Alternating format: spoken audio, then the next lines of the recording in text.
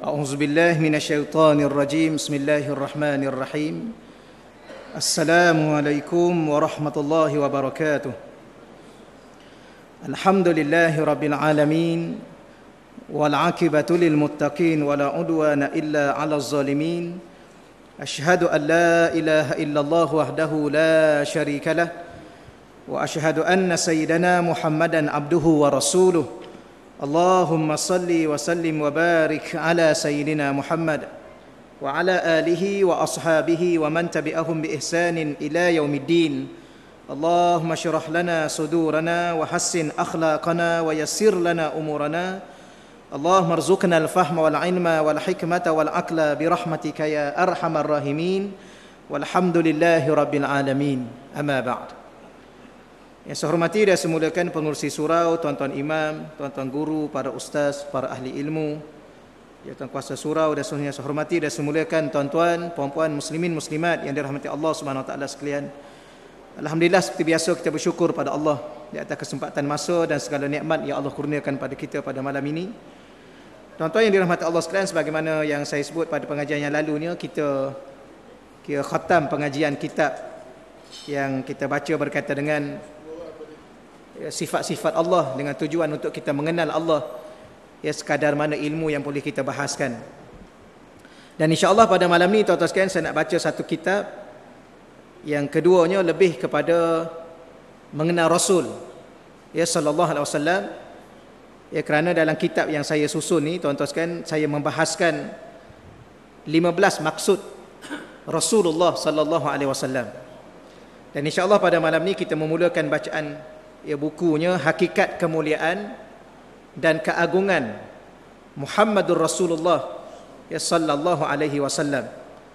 Dalam buku ni tuan-tuan saya susun ada lima bab. Ya lima bab yang akan kita sama-sama bahaskan. Bab yang pertama membahaskan hakikat lafaz Muhammadur Rasulullah. Ya bila mana saya dengan tuan-tuan melafazkan sama ada lafaz itu dalam sembahyang atau di luar daripada sembahyang, maka di sana dia ada satu hakikat. Hakikat ni tuan-tuan ialah bukan makna yang kita belajar syariat hakikat makrifat tu bukan yang tu ya. Nah, hakikat tu dalam bahasa Arabnya ialah ma huwa ataupun ma hiya. Apakah makna yang tersurat dan tersirat? Ya di sebalik lafaz. Ha tu ya. Bukan hakikat syariat, hakikat makrifat yang tu ilmu tasawuf. Yang kedua saya bahaskan hakikat keimanan. Ya bab yang kedua hakikat keimanan dan kenabian. Ya kepada kenabian dan kerasulan ya Nabi kita Muhammad sallallahu alaihi wasallam. Kerana berapa ramai orang mendakwa dia beriman kepada Nabi, beriman kepada kerasulan Nabi kita Muhammad sallallahu alaihi wasallam ya tetapi tidak menerima sepenuhnya dan menzahirkan sepenuhnya keimanan itu. Yang keempat yang bab yang ketiga barulah saya bahaskan 15 maksud Rasulullah ya sallallahu alaihi wasallam. Kemudian bab yang keempat saya membahaskan sedikit ada adab bersama Rasulullah SAW.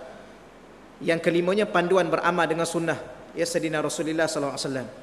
Baik tuan-tuan kita nak teruskan pada bab yang pertama ya muka surat satu tu. Hakikat lafaz. Ya, buku ni lebih kepada tuan-tuan sekalian untuk membawa diri saya di tuan-tuan lebih dekat untuk mengenali baginda Rasulullah ya sallallahu alaihi wasallam. Saya sebut sebagai sedikit mukadimah sebelum saya baca bab pertama ni. Ya guru saya tuan-tuan seorang muhaddis daripada Mesir iaitu Syekh Muhammad Awad Al-Mankush Al-Libi. Ia dia seorang Libya tapi mentap di Mesir sebagai ulama hadis. Beliau menulis dalam satu kata-katanya saya sebut sebagai uh, sedikitlah tuan-tuan sekalian mukaddimah dalam mengenal Nabi SAW beliau mengatakan inna ta'rifan Nabi ya sesungguhnya mengenal Nabi SAW baginda adalah huwa babu ta'aruf ala Allah Baginda adalah merupakan pintu untuk kita mengenal Allah. Ha, siapakah Nabi Muhammad? Salah satunya beliau adalah pintu untuk kita mengenal Allah. Wa tariqus sayr ila Allah. Ya Nabi Muhammad ini juga adalah jalan tariq as-sayr untuk kita melalui sebuah perjalanan ila Allah menuju Allah Subhanahu wa taala. Ha, kalau saya nak urai sikit pada tuan-tuan walaupun saya yakin tuan-tuan sudah fahamnya, Sebagaimana kita sebut sebelum ini bahawa kita sedang dalam perjalanan menuju kepada Allah, kembali kepada Allah. Cuma kalau kita teliti bahasa Arab, ha, beliau menyebut asair ilallah. Ha, dia orang atas muka bumi ni tuan-tuan sekalian ada dua golongan. Satu golongan asair ilallah. Satu golongan asair fillah. Kalau Arab, perkataan Arab menggunakan asair ila, berarti kita berjalan menuju Allah tetapi kita masih lagi dibatasi oleh nafsu. Berdepan dengan nafsu. Dan mesti mujahadah melawan nafsu. Dalam kita mendekatkan diri pada Allah. Itu asair ilallah. Tapi ada orang tuan-tuan sudah melepasi perjalanan kepada Allah dalam berdepan dengan nafsu. Segala gerak geri dia ibadah dia keadaan dirinya sudah terlepas daripada belenggu nafsu. Ha, dia dah bebas. Maka orang yang telah bebas daripada nafsu tu orang yang disebut asair fillah. Walaupun penjelasan dia agak panjang tuan-tuan tapi saya nak sebut sedikit Arab bahasa Arab. Oleh kerana guru saya menggunakan perkataan asair ila maka nabi adalah merupakan suatu jalan untuk saya berjalan tuan-tuan berjalan di atas jalan itu. Dan nabi mengajar kita bagaimana berjalan menuju Allah dalam hal keadaan kita sedang berdepan dengan nafsu. Tuan-tuan, kadang-kadang saya dengan tuan-tuan mungkin kita ni beribadah kepada Allah tapi masih belenggu dengan nafsu. Sembahyang bukan tak sembahyang.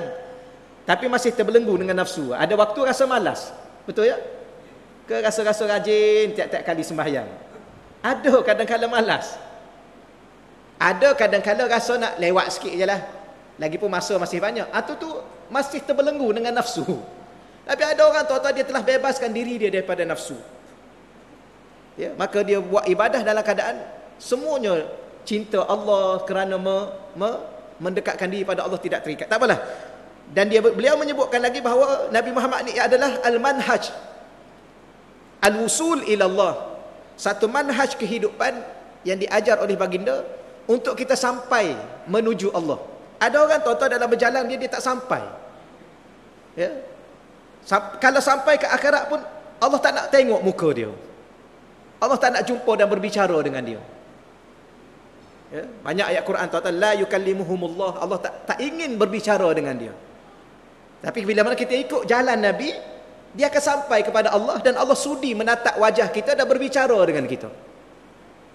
Bahkan sampai di situ salah satu maksudnya ialah di dunia ini kita boleh sampai dalam bentuk kita mengenal Allah. Ha. Okeylah tuan-tuan tu sedikitlah. Ya.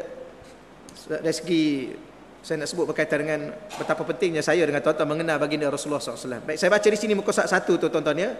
Tapi kadang-kadang muka surat satu pun tak perlu baca juga kita terus muka surat dua. Ha, dia mengajar mengaji begini mudah tuan-tuan.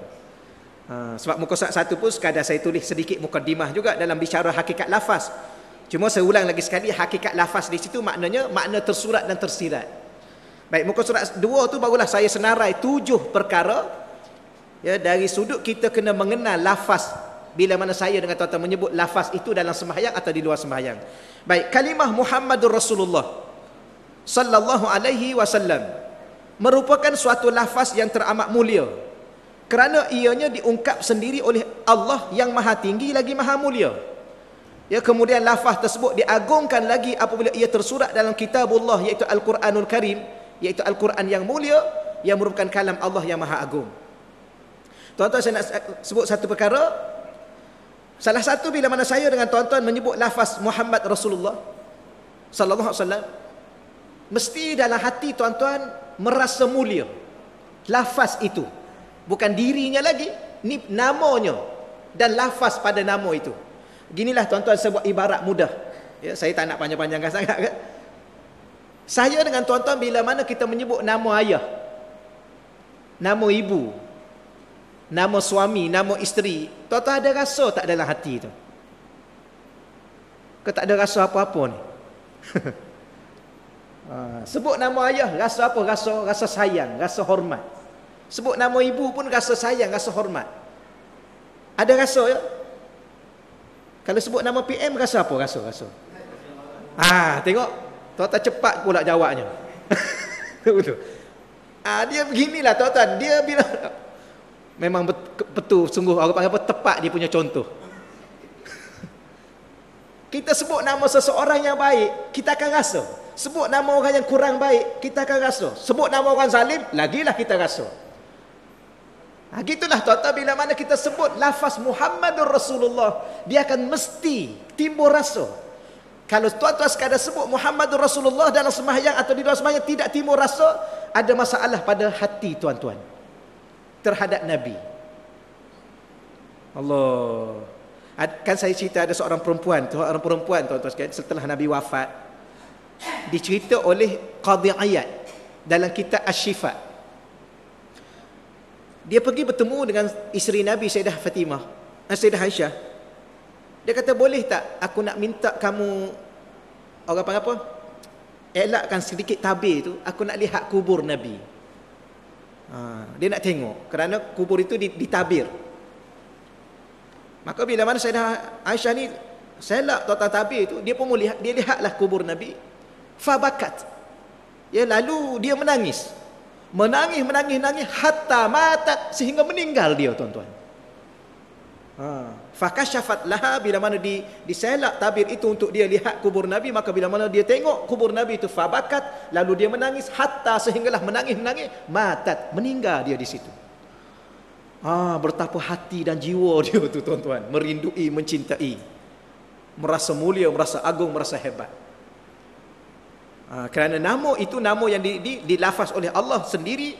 Siapa Allah? Tuhan yang maha mulia. Disebut dalam Al-Quranul Karim. Al-Quranul Karim Al-Quran yang mulia dan diagungkan oleh Allah baik maka dengan inilah fahamlah kita bahawa dengan ini fahamlah kita bahawa lafaz Muhammadur Rasulullah SAW itu dari segi hakikatnya telah wujud semenjak azali lagi dan akan kekal selama-lamanya bersama kalam Allah yang kadim lagi azali yang ini bahas tauhid sikit tuan-tuan nama Nabi ini telah termaktub dalam Quran Al-Quran ni kalam Allah. Kalam Allah ni sifat Allah. Sifat Allah ni adalah qadim. Jadi nama itu adalah nama yang qadim. Kemuliaan itu kemuliaan yang sejak azali dan akan kekal selama-lamanya tercatat dalam Al-Quran yang qadim. Ha, boleh tuan-tuan ya? Nama kita setakat ni tercatat kat mana tuan-tuan? Kat IC.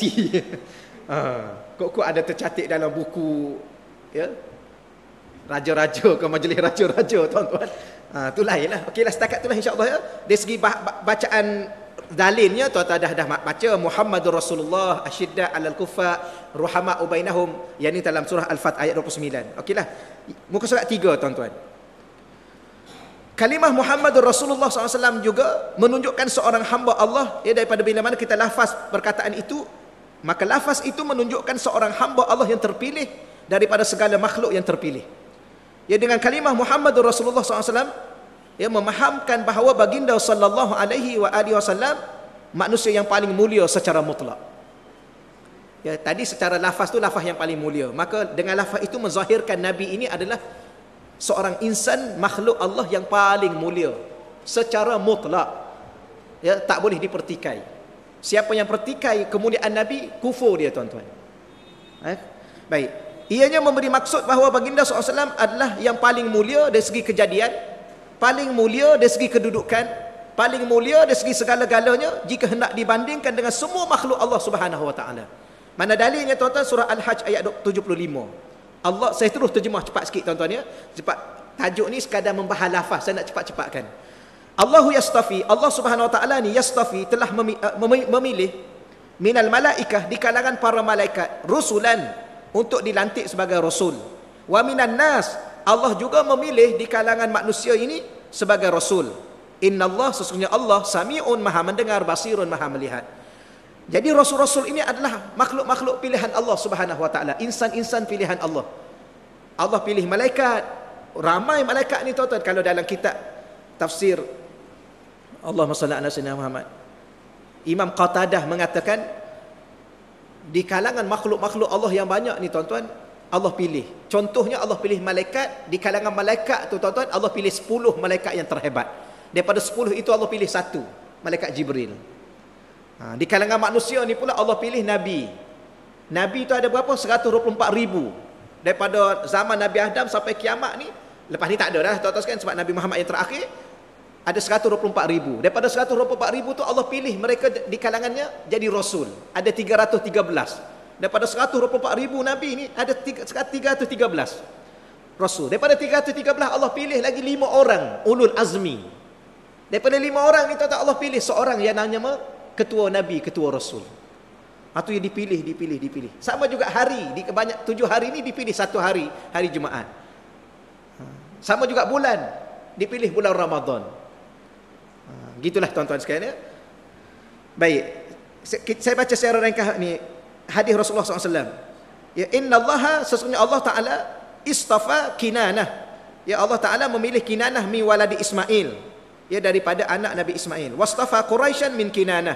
Maka Allah pilih lagi ya saring lagi Quraisy ya daripada kinanah. Wastafa hashiman Allah pilih ya yang bernama Hashim min Quraisy daripada Quraisy. Sebab tu Nabi daripada Bani Ha Bani Hashim. Wastafani dan Allah pilih aku kata Nabi min Bani Hashim daripada Bani Hashim ha. saya nak baca dia belakang tuan-tuan muka surat 4 Ke, kelaju sangat pula okeylah ya dia mengaji ni kelaju tuan-tuan sekalian Baik. Iaitu riwayat Muslim. Saya nak baca satu lagi riwayat Imam Tirmizi. Annan nabiyya bahawa sesungguhnya Nabi sallallahu alaihi wasallam qama 'alal mimbar. Ya suatu hari Nabi berdiri di atas mimbar. Faqala lalu Nabi pun ya bertanya, "Man ana? Siapakah aku?" Ya Nabi berdiri atas mimbar, sahabat-sahabat Nabi berada di bawah atas sekalian, maka Nabi tanya satu soalan, "Man ana?" Siapa aku? Lalu faqalu, lalu sahabat Nabi menjawab tuan-tuan, "Anta Rasulullah, alaikas salam." engkau adalah Rasulullah utusan Allah ke atas engkau. Salam sejahtera. Faqala lalu nabi pun menjawab ana Muhammad bin Abdullah bin Abdul Muttalib. Aku ni namanya Muhammad bin Abdullah bin Abdul Muttalib. Innallaha maka nabi mengatakan sesungguhnya Allah Subhanahu wa taala khalaqal khalqa mencipta makhluk. Ya makhluk tu merujuk kepada manusia semua kemudian ja'alahum firqatain Allah jadikan manusia itu dua firqah dua apa apa dua kumpulan Faja'alani fi khairihim firqah. Maka Allah menjadikan aku dalam kumpulan yang terbaik. Tuan-tuan boleh baca yang bawah tu ya. Saya terjemah ringkas-ringkas pada tuan-tuan. Ya. Allah jadikan makhluk manusia yang begitu ramai. Allah pecah dua makhluk ini. Ada dua firqah, dua kumpulan. Maka Allah jadikan aku dalam kumpulan yang baik. Tahu kan? Kumpulan jahat siapa? Ini ni kumpulan baik. Ini kumpulan siapa yang kumpulan-kumpulan jahat ni? Ni Abu Jahal, Abu Lahab, Firaun, Qarun, Haman, belah-belah ni ada ni ni ni. Eh bukan belah ni, ni kanan ni belah kiri. tuan-tuan sekalian. Belah kanan tuan-tuan. Uh, Allah dah siap sedia dah. Sebab tu Abu Jahal jahat tak? Jahat. Tuan. Qarun, oh, iyalah. Ha, ni belah-belah ni. Nabi belah-belah yang baik. Tapi fajsumma ja'alhum qabail daripada yang baik-baik ini, kumpulan yang baik ini Allah jadikan kabilah-kabilah manusia. Faja'alani fi kharihim kabilah. Allah jadikan aku dalam kabilah yang terbaik. Dalam kabilah yang terbaik ni, tuan-tuan makin kecil lagi, summa ja'alahum buyuta, Allah jadikan keluarga-keluarga dalam kabilah itu. Faja'alani fi kharihim baita. Ya. Summa ja'alahum buyuta, buyut ni ialah rumah-rumah, keluarga-keluarga. Maka Allah jadikan aku dalam keluarga yang terbaik. Wa khairihim nafsa, dan Allah jadikan aku insan yang terbaik dalam keluarga yang terbaik itu. Maknanya Nabi ni apa ni Nabi ni? Disaring, disaring, disaring, disaring tuan-tuan sekalian. Betul ke bahasa tu ya? Ha. Ha, yang Mahizin kata, dia chosen one ke apa? Ha. Betul ke tuan-tuan? Di broken pula, tuan-tuan lagi tahu. Ha, ya, satu-satunya. Itulah riwayat Imam Tirmizi. Maka bila mana saya, saya nak sebut awal-awal sikit tuan-tuan sekalian sebelum kita baca. Berbicara pasal Nabi ni, dia bukan bicara akal semata-mata untuk faham. Sama juga kita dengan bicara tentang Allah. Kita belajar tentang Allah, ilmu tauhid, ilmu akidah, ilmu apa pun, pasal iman, pasal apa pun, atau pasal takwa apa-apa pun tentang Allah. Dia hanya bukan dia bukan sekadar hanya berbicara untuk kita faham dengan akal, tapi kita untuk rasa dalam hati. Karena Allah ni adalah iman, keimanan. Sama juga bila mana kita bercakap pasal Rasulullah. Kalau kita buat forum pasal Rasulullah, maulid pasal Rasulullah, ceramah hijrah pasal Rasulullah, dia bukan sekadar berbicara untuk kita faham dengan akal, tapi dia terus berkait dengan iman yang ada dalam hati. Apa makna iman? Rasa. Tuan tak ada rasa apa dengan Nabi? Rasa percaya tu nombor satu sekali. Apa makna percaya? Rasa iman kita pada Nabi. Iman itu apa? Iman itu rasa. Rasa apa? Rasa percaya dan yakin. Ha, boleh ya tuan-tuan ya? Maka bila mana kita sebut Muhammadur Rasulullah akan timbul satu rasa. Pertama rasa apa tadi? Rasa lafaz itu paling mulia. Yang kedua, inilah manusia yang paling mulia. Baik, yang ketiga tuan-tuan, muka surat lima. Kalimah Muhammadur Rasulullah SAW juga menggambarkan satu kedudukan pangkat yang tertinggi dan terpuji jika hendak dibandingkan dengan semua kedudukan dan pangkat makhluk yang ada di tujuh tala langit dan tujuh tala bumi. tu Muhammadur Rasulullah. Rasulullah tu kedudukan. Tuan-tuan hari ini orang hormat orang kerana kedudukan, betul ya? Orang buat majlis besar-besar juga kerana apa? Kerana nak sambut orang yang ada kedudukan. Macam kita buat kenduri lah tuan-tuan. Ni ibarat ya, boleh ya? Ha, kita buat kenduri, tiba-tiba Pak Mat datang kat kenduri kita. Kita cakap, ya terima kasih Pak Mat kerana datang kenduri saya. Silalah duduk ya. Layan diri sebab semua dah siap dah. Betul ya? Ketuan cakap macam mana kat dia? Contohlah. Contohnya. Tiba-tiba datang YB Pak Mat. Ha, yang tadi Pak Mat saja-saja je. Haji Pak Mat, Encik Pak Mat. Tuan-tuan. Yang ni datang YB Pak Mat. Tuan-tuan layan macam mana? Awak ya sila, sila YB. Duduk, duduk, duduk, duduk. Ha, InsyaAllah kami hidangkan. Ay, Pak Mat tadi suruh layan diri. YB ni nak hidang pula tuan-tuan. Betul ya? Apa, kena apa beza YB dengan Pak Mat, Pak Mat tu? Ha, sebab Pak Mat tu Pak Mat saja ya seorang lagi YB Pak Mat. Tuan-tuan kalau datang pula yang amat berhormat YAB ke apa? Ha tu apa tu? Oh yang tu memang meja dah siap awal. Kerana dia ni menteri besar YAB tuan-tuan. Betul ya? Ke nak tanya soalan ni? Kalau kalau PM datang tak adalah biar kalau tuan-tuan sekalian. Allahumma salli ala sayyidina Muhammad. Layanan kita, bicara kita, majlis kita berbeza-beza tuan-tuan sekalian kalau kita sambut orang yang ada makin tinggi makin tinggi pangkat. Tetapi tuan-tuan kena ada dalam hati tuan-tuan tidak ada satu pangkat yang lebih besar atas muka bumi Allah kerana ianya dilantik sendiri oleh Allah yang Maha yang Maha berkuasa ialah Rasulullah sallallahu alaihi wasallam. Kalau tuan-tuan nak nak buat majlis maulid, agak-agak tuan-tuan nak buat macam mana? Besar mana?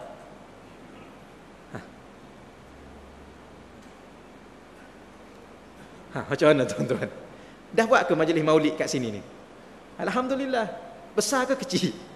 Ha, kadar-kadar surau kita lah kan? Ha. Tuan-tuan kena buat meriah. Ya. Dengan majlis-majlisnya, dengan apa-apanya tuan-tuan sekalian. Kenapa? Kerana majlis ini majlis Rasulullah. Sallallahu alaihi wasallam. Eh Rasulullah dah tak ada ustaz. Rasulullah ni tuan-tuan walaupun dia tidak ada hubungan kita dengan dia sampai kiamat. Sebab tu kalau kami di Yaman dulu tuan-tuan sekalian bila mana sambut Maulid ni dia akan tulis di apa dia panggil billboard ke apa. Ah tapi sana tak ada lah billboard tuan-tuan sekalian. Ah, dia tulis tepi-tepi jalan ni Rasulullah hayyun fi qulubina. Semua slogan-slogan Rasulullah sallallahu alaihi wasallam hayyun fi qulubina. Hidup di dalam hati kita. Ya? Hidup dalam hati dalam bentuk mana? Dalam bentuk ingatan, dalam bentuk kerinduan, dalam bentuk keimanan, dalam bentuk kepercayaan. Sentiasa hidup dalam hati saya dengan tuan-tuan. Itulah yang cetusan rasa yang saya dengan tuan-tuan perlu rasa bahawa tidak ada manusia yang lebih tinggi nilai kedudukannya pada pangkatnya ialah Rasulullah sallallahu alaihi wasallam. Bayangkan betapa tingginya kedudukan pangkat baginda SAW sehingga Allah Ta'ala telah mengangkat baginda sebagai Sayyidul Anbiya. Apa makna Sayyidul Anbiya? Ketua Nabi-Nabi. Wal Mursalin dan ketua para Rasul. Dua kedudukan ni. Ketua Nabi, ketua Rasul. Ha, nampak tuan-tuan. Maka tidak ada lagi pangkat. Tak payah bacalah tuan-tuan ya. Kita baca rekan-rekan. Tidak ada lagi pangkat yang paling tinggi di kalangan makhluk sehingga ke hari kiamat lebih tinggi daripada pangkat Muhammadur Rasulullah sallallahu alaihi wasallam termasuk para nabi, para rasul dan juga para malaikat. Ha ni tuan-tuan. Mana dalilnya? Dalam suratul Baqarah 253. Ya tilkar rusul. Itu adalah para rasul. Ya faddalna ba'dahum ala ba'din. Yang kami telah lebihkan sebahagian mereka di atas sebahagian yang lain minhum ada di antara mereka man kallamallah seorang nabi seorang rasul yang mampu berbicara langsung dengan Allah. Ha ni siapa ni? Nabi Musa kalimullah. Nabi Muhammad pun kalimullah tuan-tuan. Langsung boleh bicara dengan dengan dengan Allah. Bahkan lebih dekat jaraknya dia dia panggil apa ustaz? Baina kausain. Dua busur anak panah jarak nabi pada malam Isra dan Mi'raj Nabi Musa bercakap dengan Allah duduk bukit, bukit apa ni bukit Tur Saina. Di lembah apa lembah tua. Kan? Ingat lagi Allah suruh Nabi Musa cabut dia punya selipar dia. Wahai Musa kamu kena ikhlas nak lain. Cabut selipar kamu. Sebab apa? Innaka bil bil wadil muqaddas tua. Sebab sekarang ni kamu berada di lembah yang yang suci. Maka jangan masuk dengan kaki dengan dengan selipar. Cabut selipar Ha, ini cerita. Tak apalah walau bagaimanapun tuan-tuan. Minhum ada di antara mereka man kallam Allah. Orang seorang rasul yang boleh langsung berbicara dengan Allah. Wa rafa'a ba'dahum darajat. Dan ada di antara mereka diangkat ba'dahum sebahagian mereka darajat beberapa beberapa darjat lebih tinggi daripada Nabi Musa. Maka para ahli mufassir menyatakan bahawa yang dimaksudkan oleh Allah dan ditinggikan pangkat sebahagian mereka beberapa darjat ialah salah seorangnya ialah Nabi kita Muhammad sallallahu alaihi wasallam. Okeylah ya tuan-tuan ini dari karangan baik yang muka surat 6. Kalimah Muhammad Rasulullah SAW menunjukkan baginda SAW adalah adalah hamba Allah Subhanahu Wa Taala yang paling benar. Adalah seorang hamba Allah yang paling amanah, paling cerdik dan paling bertanggungjawab dalam menyampaikan segala perkara daripada Allah Subhanahu Wa Taala. Tuan-tuan Nabi adalah Nabi yang paling benar. Apa yang Nabi sebut semuanya benar. Syurga itu benar, neraka itu benar, azab kubur itu benar. Apa lagi? Titian sirat itu benar, hisapan amalan itu benar. Dajjal yang akan datang itu benar. Nabi Isa yang akan turun itu benar. Maka semua yang Nabi sebut adalah benar. Saya dengan tuan-tuan sedang berdepan dengan syurga atau berdepan dengan neraka adalah benar. Satu hari nanti kalau saya dengan tuan-tuan dikuburkan, apa yang ada dalam kubur? Yang ada dalam kubur yang kita baca baru-baru ini dalam kitab Tamil Horafilin, ada ular. Ada kala jengking. Kala jengking besar apa tuan-tuan? Nabi kata besar keldai. Saya dengan tuan-tuan akan berdepan dengan kala jengking besarnya keldai. Besar keldai. Kita dengan kedai mana besar tuan-tuan? Lebih kurang lah ya? mana lebih kurang? Berat dia lagi, besar dia lagi. Maka itulah saya dengan tuan-tuan akan berdepan dengan kala jengking. Siapa bagi tahu? Nabi bagi tahu. Benar? Benar. Ularnya besar mana tuan-tuan? Besar leher unta. Benar? Benar. Kerana Nabi Muhammad itu manusia paling benar. Allah. Tuan-tuan nak ikut orang benar ke orang penipu? Oh, soalan tu lain pula ya bunyi dia. Nabi Muhammad ini benar. Yang seorang lagi penipu, tuan tak nak ikut yang mana? Memang tak. Sebenarnya soalan tu tak payah tanya dah tuan-tuan ya. Tapi Nabi Muhammad sudah tidak ada sekarang ni. Nak ikut macam mana? Ha. Itu soalan susulan dia. Maka Nabi ada pewaris. Maka pewaris ini Nabi benar. Takkan pewaris Nabi penipu. Yang penipu pewaris Abu Jahal. Ha, setakat itulah ya. Ha, di hurai tak boleh panjang sangat sebab di sini tuan-tuan saya cukup yakin dan saya cukup rasa seronok sebab orang sini cepat faham. Ha, ada juga tempat yang saya pergi tak faham-faham sampai sekarang. Ada juga tuan-tuan tapi moga-moga Allah bagi dia faham kerana bukan kita yang memberi dia faham, Allah Taala yang memberi dia faham. Tuan-tuan ya, baik yang kelima. Ha, yang kelima, yang selebihnya tuan-tuan bacalah bawah-bawah tu yang ada buku. Yang ke, yang yang kelima kalimah Muhammadur Rasulullah sallallahu alaihi wasallam menunjukkan baginda SAW ialah hamba Allah yang penyantun yang paling baik budi pekerti dan akhlaknya jika hendak dibandingkan dengan seluruh akhlak mulia yang ada pada semua manusia di alam semesta ini. Ya kalimah Muhammad Rasulullah juga meyakinkan kita bahawa baginda SAW adalah manusia yang paling tinggi adab dan kesopanannya jika hendak dibandingkan dengan seluruh adab dan kesopanan yang ada pada manusia di alam semesta. Ini tuan-tuan bila mana tuan-tuan ingat Rasulullah baginda adalah manusia yang paling berakhlak atas muka dunia. Yang paling beradab atas muka dunia Maka harap-harap saya dengan tuan-tuan diberikan akhlak Rasulullah. Adab Rasulullah. Kepada saya, kepada tuan-tuan, kepada anak cucu kita insya-Allah. Salah satu akhlak Nabi ini dia dia dia penyayang. Orang yang maksiat pun dia sayang. Ya, orang yang telah tentu masuk neraka pun menangis Nabi. Malaikat kata, "Yang ni ni Nabi umat kamu." Tapi dia buat dosa besar. Dia mati tak sempat taubat. Allah akan humban dia dalam neraka. Tapi neraka paling ringan paling atas. Umat Nabi Muhammad ni tuan-tuan walaupun mati dah ada dosa besar tak sebab taubat. Dia berzina dia mencuri dia merompak dia bunuh. Tapi kalau dia mati tak sebab taubat dia neraka paling atas. Paling ringan. Itu pun Nabi menangis. Dalam kitab Tanbih Ghafilin kita tu baca tu tuan-tuan. Tapi dah lepas dah tajuk tu. Tuan-tuan dah khatam dah tajuk tu. Allah. Ha yang kita pula sekalian sebagai pendakwah-pendakwah akhir zaman ni suka sangat humbang orang dalam neraka. Kita ikut Nabi ke kita ikut siapa? Sikit-sikit nak humbang orang dalam neraka. Sikit-sikit nak humbang orang dalam neraka. Tuan-tuan. Dia kalau boleh, ah, tak apalah setakat tu dulu. Tuan-tuan sekalian ya. Allah. La haula wala quwata illa billah. Gitulah saya nak bagi tahu bahawa saya dengan tuan-tuan moga-moga Allah bagi rezeki akhlak, rezeki adab sebagaimana Allah ya memberi rezeki adab yang terlalu tinggi ya kepada baginda Rasulullah SAW. Dia beza adab dengan akhlak tuan ya. Orang yang berakhlak belum tentu beradab. Orang beradab adalah orang yang berakhlak. Karena adab lagi tinggi. Contoh beginilah tuan-tuan. Kita datang ke rumah seseorang. Akhlak Islam bila mana nak datang rumah orang, kena bagi salam. Ya, bagi salam. Okey, bila mana bagi salam, itu seorang muslim yang berakhlak. Ya, keluarlah dia punya tuan rumah. Maka tuan rumah ni tuan-tuan sekalian, jangan masuk lagi sebelum tuan rumah persilakan. Ni mentang-mentang tuan rumah buka pintu terus dia masuk. Ini tak ada adab. Akhlak dah cantik dah sebab bagi salam. Ke ada yang masuk terus? Ha masuk terus tu namanya pencuri. Salam pun tak bagi. dia bagi salam. Okey, tuan rumah bila mana tuan rumah masuk, buka pintu tuan rumah kata sila masuk. Ha tu dia pun masuklah tuan-tuan. Orang ada adab. Masuk tu jangan terus duduk. Tuan rumah tak suruh lagi. Ni masuk-masuk. Ah, eh, ni kursi ni beli bila ni? Cantik nampak? Hei. Tuan-tuan sekalian, duduk tuan sila duduk. Ah sila duduk. Ya. Mana duduk tu tuan-tuan sekalian, kena jaga mata. Ada satu buku yang saya hafal dulu, dulu lah tuan-tuan masa budak-budak dulu dia melekat. Dia hafal masa umur sekarang tak melekat sangat. Tuan-tuan rasa macam mana? Sama lah ya. Kita hafal masa budak-budak dulu sampai sekarang ingat tuan-tuan. Ada satu buku tu. Dia kata iza kunta fil bait apabila kamu berada di sebuah rumah fahfas ainak tolong jaga mata kamu. Rumah siapa tu? Rumah tetamu. Tuan-tuan masuk dalam rumah tetamu, dia dah lah, dah lah dia izin kita masuk dalam rumah dia. Tuan-tuan, jangan sebarangan orang izin masuk rumah. Jangan. Ya betul-betul kita tu baru masuk rumah tak boleh itu bukan itu tuan-tuan. Baik, bila mana kita dah bagi izin, maka seorang tu kena jaga adab. Adab apa salah satunya duduk tu. Tunggu dulu ha. Bila duduk duduk. Okey, duduk tu ternyata kena tunduk. Jangan ha. eh, saya datang baru ni tak ada ni bila-bila ni.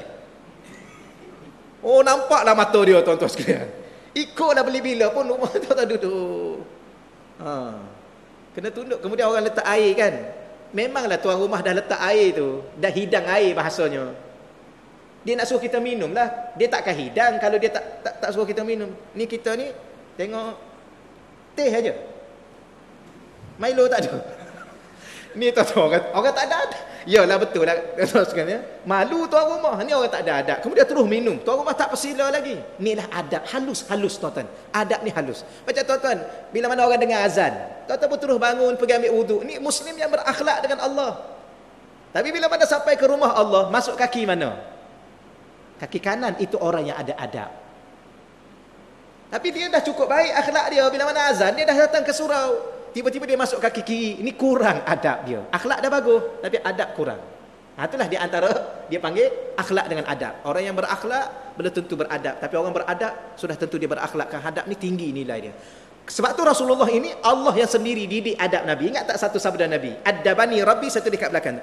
Kau tak ada tak ada dalam kita. Adabani Rabbi fa ahsana ta'dib aku sendiri yang ahsan adibi aku adalah yang paling baik adab.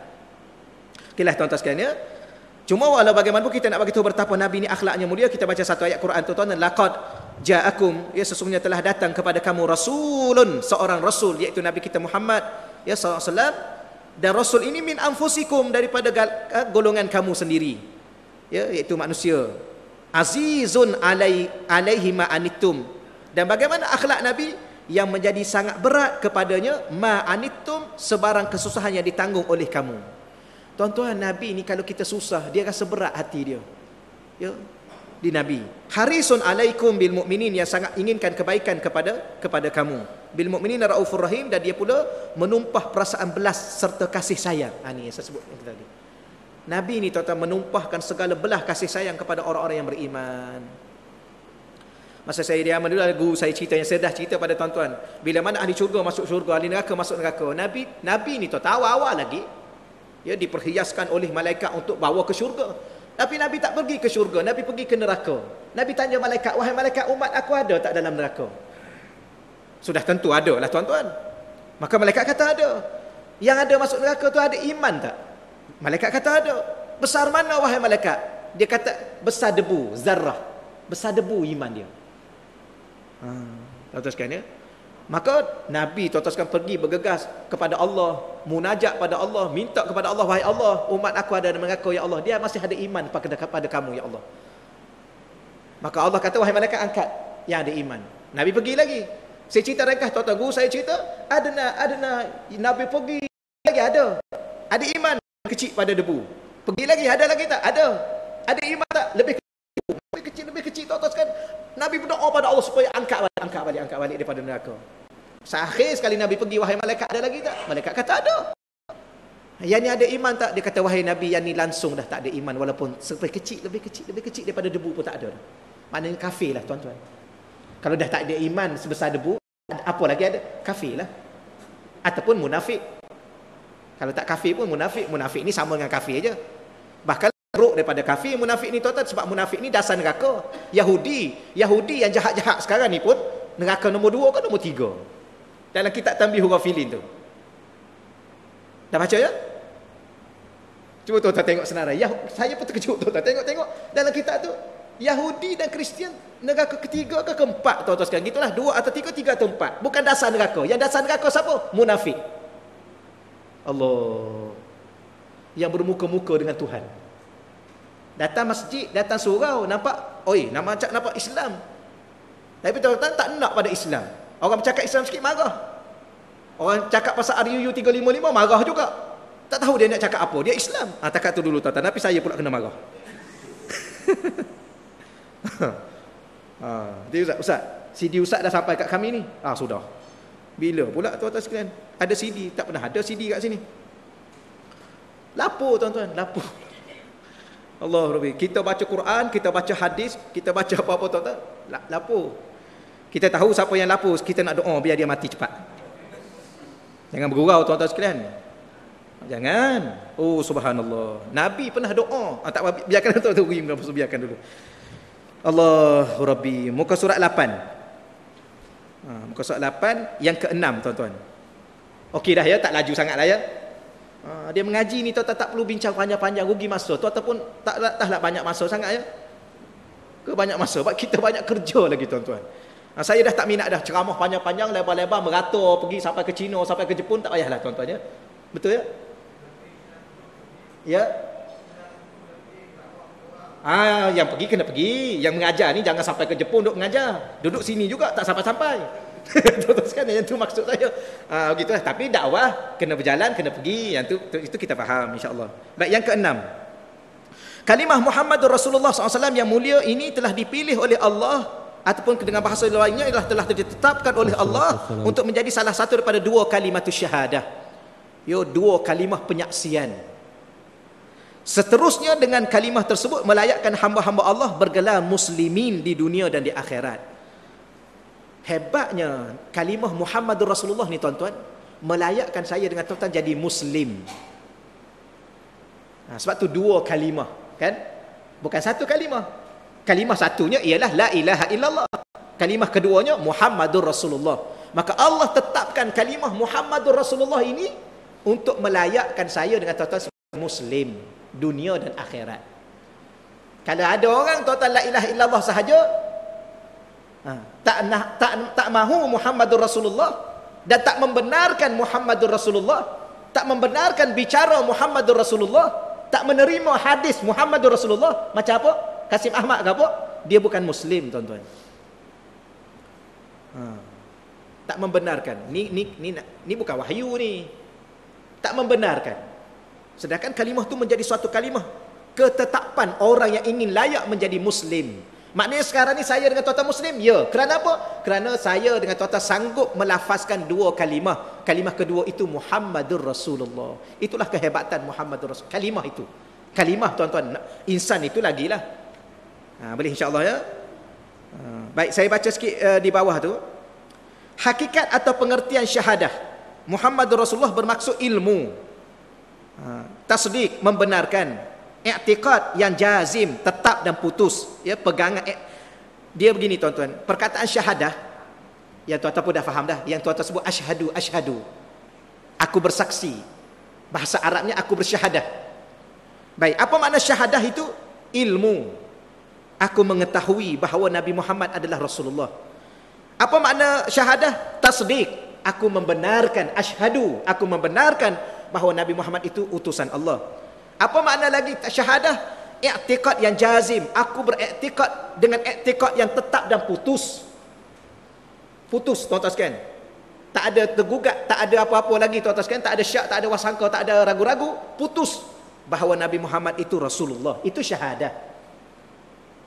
Dan aku membenarkan segala apa yang datang daripada Nabi itu adalah benar dan aku terima dan aku patuh, aku ikut. Itulah syahadah. Ha, aku lihat okeylah tuan-tuan sekalian ya. Uh, kemudian dalam masa yang sama mesti i'lan. Ha, ada satu lagi perkataan. Apa makna syahadah? I'lan. Tuan-tuan rujuk dalam bahasa Arab. Syahadah bermakna Arab dengan makna Arab. Dia panggil apa saya? Muf, mufradat, mufradah. Allahumma salli alaihi Dia panggil apa ya? Mufradat lah kan? Makna yang se yang sama. Syahadah bahasa Arab. Terjemah satu bahasa Malaysia bersaksi. Dalam bahasa Arab syahadah tu bukan satu makna bersaksi. Syahadah tu ilmu, syahadah tu tasdik, syahadah tu i'tiqab jazim, syahadah itu i'lan. Itu dalam bahasa Arab. Maka apa makna syahadah? Kita mesti i'lan, kita mesti bagi tahu. Apa makna bagi tahu? Menzahirkan, menjelaskan dengan perkataan dan dengan amalan bahawa kita percaya dan beriman pada Nabi. Tuan-tuan ingat tak ada seorang dulu orang tuduh dia murtad. Maka dia masuk dalam TV3 di Temu Ramah yang ingat yang, yang bawa kapal itu mengilingi dunia tu. Saya tengok masa tu tuan-tuan sekalian dalam TV 3 duk temu ramah. Orang tuduh dia murtad. Wallah alam lah yang tuduh tu sepatutnya yang tuduh tu kena bawa bukti. Biasalah bab tu. Tak apalah. Maka bila ni temu ramah, akhir sekali uh, pengacara tu kata ginilah mudahnya supaya semua seluruh Malaysia tahu ya tuan sebagai seorang yang beriman Islam lafaz syahadah ajalah. Ha. Dia kata, kenapa saya kena lafaz syahadah? Dia kata, kenapa saya perlu lafaz syahadah? Saya tahu saya Islam, Islam lah orang lain kok peduli apa? Ha, dia tak boleh tuan, syahadah tu sendiri kena bagi tahu. Ha. Kena bagi tahu, asyhadu an la ilaha illallah wa anna muhammadar rasulullah. Bagi tahu. Iklan pada orang. Kalau betul kita Islam, katalah tiada Tuhan melainkan Allah. Nabi Muhammad itu pesuruh Allah. Payah kata? Tak payah mana bagi tahu je. Kerana syahadah itu bagi tahu pada orang kita Islam. Tak apalah dah kita tahu kita sendiri Islam. Orang lain peduli apa dengan dia. Eh kalau kita mati, dia nak orang nak tanam kat mana? Sebab tu kita kena, sebab tu syahadah tu kena bagi tahu pada orang. Supaya mudah kalau kalau kita mati orang tahu kita Islam. Orang nak mandikan kita, kafankan kita, kuburkan kita. Kalau kita, dia kata dia seorang yang tahu. Peduli apa dengan orang-orang tak tahu? Ha, kalau gitu lepas dia mati kita humbal lah mana-mana pun. Peduli apa dengan dia? Ha, itulah makna syahadah. Sebab tu Arab dia tanya antar muslim. Oh, dia tanya awal-awal Arab. Tak tahu pernah jumpa kawan-kawan kita tanya macam tu. tak tahu pernah tak? Ha, jumpa awak Islam. Ha, kat surau-surau ni kan. jumpa kat surau Islam. Eh dia tanya kita, Arab tu kita masuk masjid, dia tanya kita, antar muslim. Kita tengok, eh Arab ni, nak mana muslim? Kemudian, antar tu salli. Ha, tu lagi melampau. Dia tanya kita Islam, dia tanya pula, antar semahyang? kita kata, na'am, ana usalli, saya semahyang. Kamu semahyang baca apa? Ai, baca Quran lah. Arab memanglah kadang-kadang tu. Arab Abu Jahal lah tu. Arab ni tahu sekarang ni. Nu lah. Nu, keturunan Sa'ud tu. Keturunan mana tu? Tapi setengah orang kata dia keturunan Yahudi. Wallahu alam lah tuan-tuan. Itu kena pengkaji-pengkaji sejarah. Tapi yang confirmnya keturunan Abu Jahal. Yang confirmnya. Kenapa? Ya kerana berpakat dengan mereka. Tu confirm lah tuan-tuan ya. Ke tak nak confirm yang tu? Allahumma salli ala sayyidina Muhammad. Azan silakan tuan. Wasallam menggambarkan dan melahirkan satu i'tiqad yang jazam dalam hati. Ini kesimpulan tuan-tuan yang terakhir yang ketujuh. Ya satu pegangan yang tetap putus dalam hati saya dalam hati tuan-tuan. Dan kalimah itu juga akan mencetuskan suatu kepercayaan yang amat yakin, ya iman yang yakin dalam jiwa saya dengan tuan-tuan menimbulkan perasaan tunduk dan akur dalam diri kita bahawa Nabi Muhammad Rasulullah SAW mempunyai segala-galanya yang tidak ada pada semua manusia di dunia ini. Ya, Nabi Muhammad ni tuan-tuan pemilik memiliki seluruh alam ya, yang Allah bagi kepadanya kemuliaan, keagungan, kehebatan dan segala-galanya tuan-tuan. Alam dunia dan alam akhirat. Maka tidak selayaknya kita sebagai manusia biasa merasakan diri ini memiliki kehebatan, kedudukan, kecerdikan apa sahaja walaupun sedikit. Sebaliknya merasa diri ini terlalu kerdil, hina, jahil dan segala-galanya jika hendak dibandingkan dengan Nabi kita Muhammad ya sallallahu alaihi wasallam. Bahkan kalau kira-kira sebenarnya tuan-tuan, dari segi kelayakan kita lah, khususnya ustaz-ustaz seumpama saya, tidak layak sama sekali untuk sebenar-benarnya untuk berbicara soal baginda Rasulullah SAW. Saya buat ibarat beginilah tuan-tuan. Nabi Muhammad ni kekasih Allah. Ketua Nabi, ketua Rasul tu kita sedia maklum lah. Yang paling besarnya kekasih Allah. Saya pernah tanya tuan-tuan, tapi saya nak tanya lagi sekali lah sebagai suatu ibarat mudah pada saya pada tuan-tuan. Tuan-tuan ada kekasih tak? Ada lah ya? Tak berapa berani nak jawab. ha. Puan-puan ada kekasih puan-puan? Ada juga ya? Ha, tu pernah saya tanya pada tuan-tuan. Kekasih kita adalah ibu bapa kita. Jangan salah faham tuan-tuan. Dunia akhir zaman ni dia dah salah faham tentang makna kekasih. Kekasih tu katanya yang duduk bonceng motosikal ke sana kemari pergi ulu yam tu. Tu bukan kekasih tu tuan-tuan. Tu apa benda kita pun tak tahulah. Ya. Baik. Maka saya nak sebut pada tuan-tuan dengan mudahnya Tuan-tuan ada kekasih ibu, tuan-tuan kekasih ayah-ayah kita kekasih atau dengan bahasa paling mudahnya isteri tuan kekasih tuan. Ya puan, suami puan, kekasih puan. Baik. Siapa yang lebih layak berbicara tentang kekasih kita? Kita sendiri. Saya boleh tak berbicara tentang kekasih tuan? Saya kata Haji, Haji ada kekasih ada. Boleh tak saya nak cakap pasal kekasih Haji? Ni tu, eh ustaz ni apa hal? Kan? Ni pelik ni ustaz ni, ni nak cakap pasal kekasih orang. Kenapa kita kata begitu? Karena mana boleh orang lain Orang lain tidak layak berbicara tentang kekasih kita. Bahkan kalau berbicara pun tidak benar. Kerana dia tidak faham dan tidak tahu. Yang lebih tahu tentang kekasih kita, kita lah. Ha. Sebab tu insya Allah saya akan bahas depan ni nanti tuan-tuan sedikit sebanyak makna selawat. Kita kata kita berselawat, sebenarnya kalau kita terjemah, tak ada satu pun selawat daripada kita. Semuanya kita minta Allah yang berselawat. Kenapa? Kita tidak layak sebenarnya untuk berselawat kepada Nabi yang mulia. Hmm. Lepas tu jangan kita sekali-kali rasa kita agak cerdik sikit lebih pada Nabi. Kan? Tuan-tuan kita nak nak ikut orang bodoh ke nak ikut orang cerdik? Sudah tentu kita akan ikut orang cerdik. Nak ikut siapa yang cerdik? Nabi lah manusia yang paling cerdik. Cerdik pasal apa? Pasal semuanya. Kan? Ke Nabi tak reti ekonomi tuan-tuan? Nabi tak reti ke ekonomi? Tambah-tambah ekonomi semasa ni Nabi tak reti. Nampak tuan-tuan? Nabi tak tahu merentah ke? Tak ikut Nabi lah, tuan-tuan ikut Nabi tak tak maju. Ya ke Nabi, Nabi tak kerti merentah? Tapi bila mana ada orang merasakan diri lebih cerdik pada Nabi, sebab tu dia tak ikut cara Nabi merentah. Dia ikut cara dia. Cara dia siapa? Cara Donald Trump lah. Ha, cakap itulah dulu ya. Sebab tu dia lebih berbaik dengan Donald Trump daripada berbaik dengan para alim ulama. Diam macam ni. Gitulah tuan-tuan. Allah. Jangan sekali-kali saya dengan tuan-tuan rasa lebih mulia, rasa lebih baik, rasa lebih cerdik, rasa lebih pandai lebih pada Nabi. Maka kalau kita tak rasa kita ni lebih bodoh, lebih tak pandai, lebih tak tahu nak banding dengan Nabi, maka kita kena ikut Nabi. Yang lebih pandai, lebih cerdik, lebih baik. Maka macam mana nak ikut Nabi? Nak ikut Nabi macam mana? Tuan-tuan, Nabi tinggalkan Quran dan Sunnah, itu dah ikut Nabi. Dan Nabi tak ada ni macam mana Ustaz? Tapi tuan-tuan dah faham saya cakap ni kepada orang-orang mana ya? Tuan-tuan okey. Tak ada masalah. Saya nak baca satu hadis Nabi tuan-tuan betapa hebatnya Nabi Muhammad dan kita menjadi umat Nabi Muhammad kita kena rasa rasa bertuah tuan-tuan. Nabi dalam satu sabda Nabi kata apa? Kalau Rasulullah SAW ia telah bersabda Rasulullah SAW innal jannata sesungguhnya syurga ini kata Nabi hurrimat alal anbiya ditegah bahasa asal hurrimat tu diharam. Tapi haram tu maknanya ditegah. Tahu ya? Asal makna haram ditegah. Ditegah tu ada dua sebab. Satu sebab kerana benda tu terlalu mulia juga ditegah. Satu sebab kerana benda tu keji, maka dia ditegah. Apakah benda yang mulia ditegah? Contohnya, kita berada di tanah haram.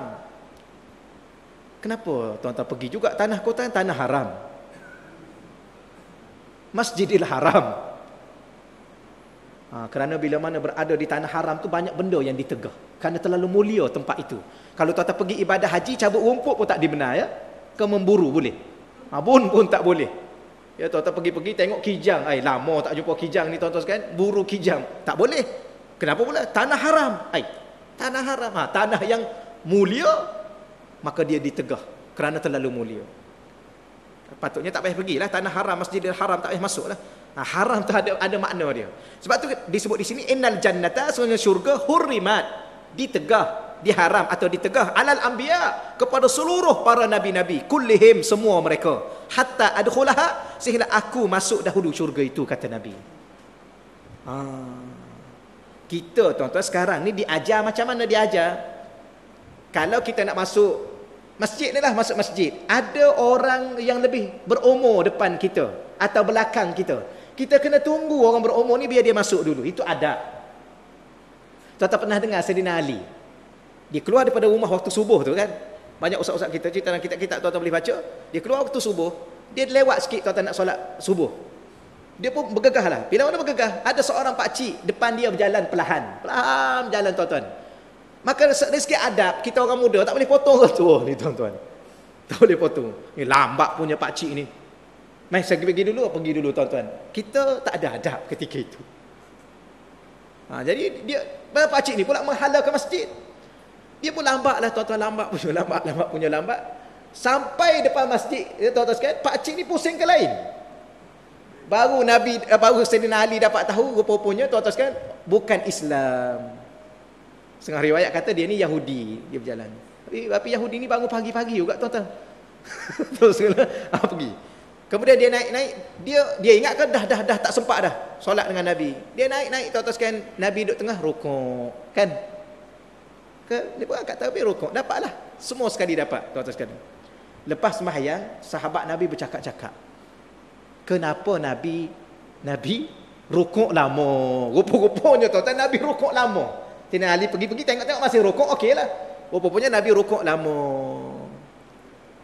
tuan-tuan tahu lama mana rukuk dekat-dekat matahari nak naik ha aku Rupanya kenapa Allah arah Nabi rukuk lama supaya tunggu Sayyidina ah, tunggu Sayyidina Ali sebab Sayyidina Ali ni hormat pada orang tua.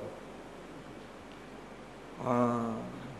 Bahkan Nabi kata bukan itu saja Allah arah aku, bukan Allah sekadar arah aku rukuk lama tunggu Ali. Bukan itu saja. Allah tahan matahari supaya lambat terbit. Kenapa tu?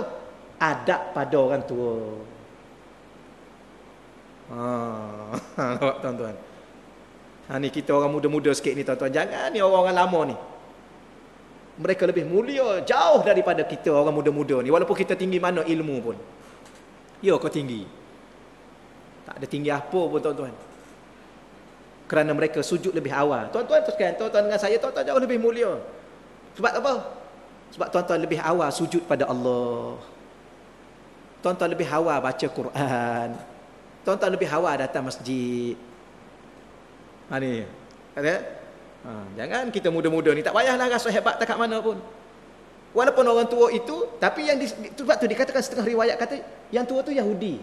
Kalau orang tua tu Yahudi yang pergi ke laluan masjid pusing balik bukan kata nak pergi sembahyang, bagaimana orang-orang yang berumur yang tuan hari-hari duduk datang masjid? Ah. Yang, yang, tapi cuma masalah satu lagi ni dia dia orang tua tuan-tuan sekalian patutnya dia dihormati tapi dia datang masjid duk catik ustaz mengajar nak buat laporan itu yang kita pelik juga tu dia dah tua dah patutnya kita hormat ni apa payah sikit ni tuan-tuan setakat itulah ah, saya, saya baca yang ni tuan-tuan ni habis dah ni habis dah kuliah kuliah saya ni kuliah kita ni tak ada apa dah habis dah wa hurrimat alal umam dan syurga ini diharamkan kepada umat-umat yang lain hatta tadkhulaha ummati Sehinggalah umat aku masuk syurga itu. Allah. Kita ni umat paling lewat tuan-tuan. Tapi balik akhirat kita umat yang paling awal ke syurga. Barulah umat lain boleh masuk. Itu umat. Ni umat kekasih Allah tuan-tuan. Allah tuan-tuan sekalian ya. Kita sayang ayah kita. Ayah kita ada sahabat. Baik dia. Ha. Kita sayang tak pada sahabat baik? Sudah tentu tuan-tuan. Sebagaimana kita sayang kepada ayah kita, kita juga akan sayang pada sahabat baik ayah kita. Kita akan hormat orang yang menghormati ayah kita. Sama lah tuan-tuan, ah, kita ni umat kekasih Allah. Nabi Muhammad, umat ketua Nabi, ketua Rasul. Sebab tu kalau kita tidak letak diri kita pada kedudukan yang sebenarnya tuan-tuan, terlalu amat besar rugi kita. Ya, tak nak ikut syariat Rasulullah, tak nak ikut Quran yang Rasulullah bawa, tak nak ikut sunnah yang Nabi bawa, tak nak ikut ulama yang Nabi tinggalkan sebagai pewaris. Ha. Maka kita telah buang kedudukan kita tuan-tuan. Ya sedangkan umat yang terdahulu Nabi Musa kan nak jadi umat Nabi Muhammad kan. Nabi Musa nak jadi umat Nabi Muhammad. Bukan tuan-tuan faham dia tu dah Nabi dan Rasul. Dia tu Rasul Ulul Azmi. Lima yang tertinggi Rasul ni. Kalimullah langsung bicara dengan Allah. Minta nak jadi umat Nabi Muhammad. Kalau dah jadi umat Nabi Muhammad tak boleh jadi Nabi lah. Jadi umat lah.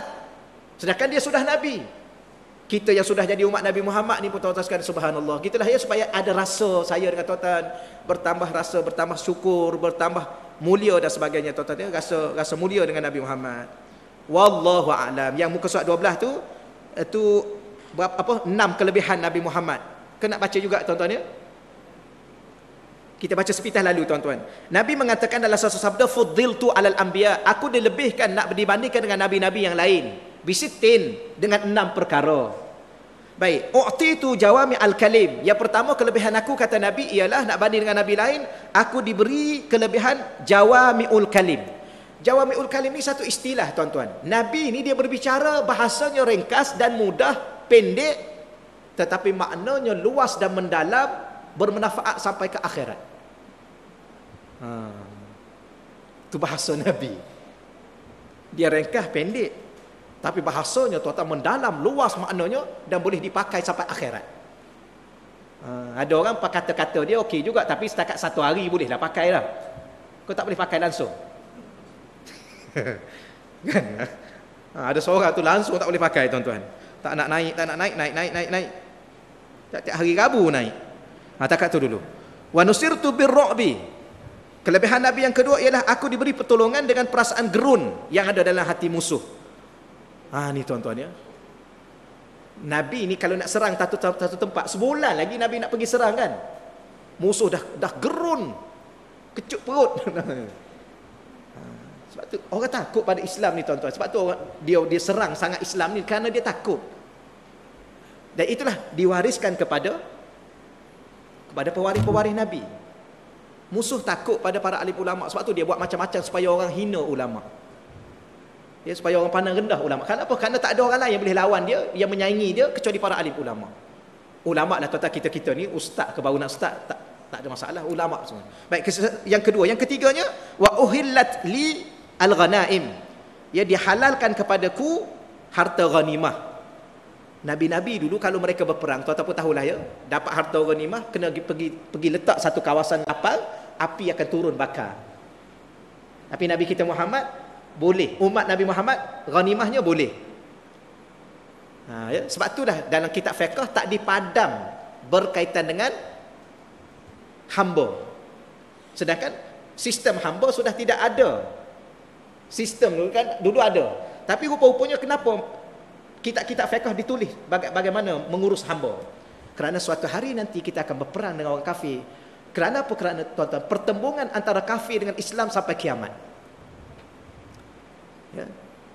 Kita boleh tu ataskan usaha sama, kita boleh kerja sama sampai satu tahap satu tahap kita kena lihat kenapa kerana orang kafir dan orang Islam ni pertembungannya akan sampai kiamat. Maka bila mana kita berperang suatu hari nanti akan ada hamba. Ha, itulah insya-Allah ya. Tapi harta ghanimah itu kita kita akan buat baik. Wajuila li al-ardu masjida. Dijadikan kepada aku bumi ini sebagai masjid.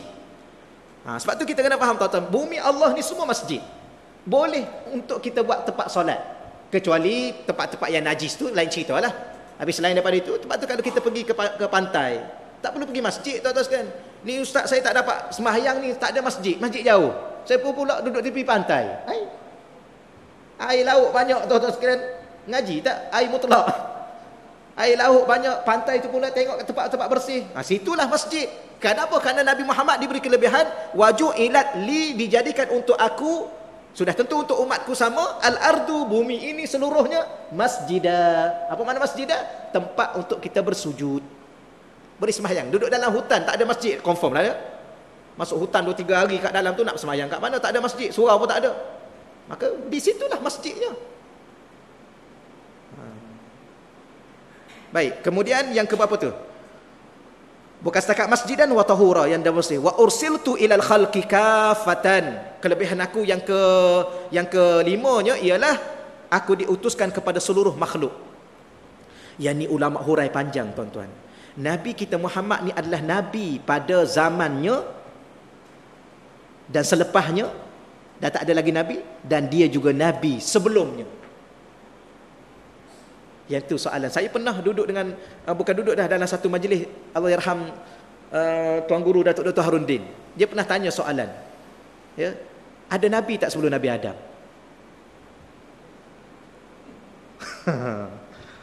Kita tak berani nak jawab tuan-tuan. Ya tok guru tanya. Ha, kau nak jawab juga? Ha, kita kata wallah alam. Ha, dia hurailah. Nabi Muhammad itu adalah nabi sebelum Nabi Adam. Di alam arwah. Karena ya ayuhan nabi itu dah tercatik di dalam Al-Qur Al-Quran. Al-Quran tu dengan Nabi Adam mana dulu? Quran dulu. Allah dah sebut Nabi tu ya ayuhan nabi. Tapi bahasan ini tuan-tuan bahasan dalam tak boleh dibahas secara umum gini takut orang salah faham. Ha. Kan baru ni khutbah ingat tak khutbah uh, Malidur Rasul pihak Jabatan Agama Islam tu? Kan ingat tak? Yang mana Nabi Adam bertawasul dengan Nabi Muhammad kerana setelah dimasukkan roh maka dimasukkan dia ke syurga. Kemudian dia memandang ke, ke atas dia nampak tiang arash. Jangan ingat belah-belah pelih saja ada alim ulama Ya, dia tegur khutbah tu, dia kata sesak dan sebagainya.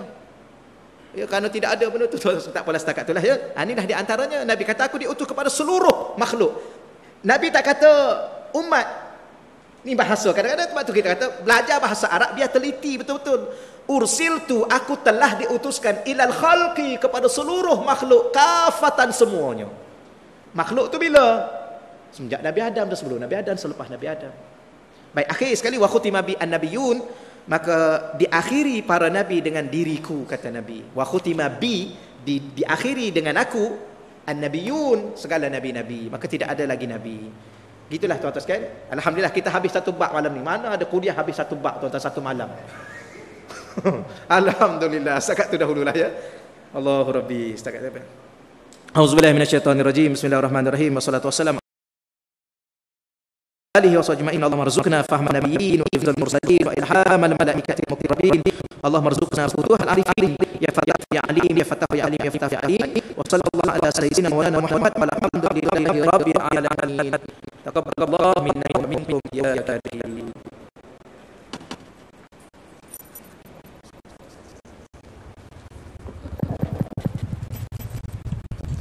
Terima kasih Ustaz.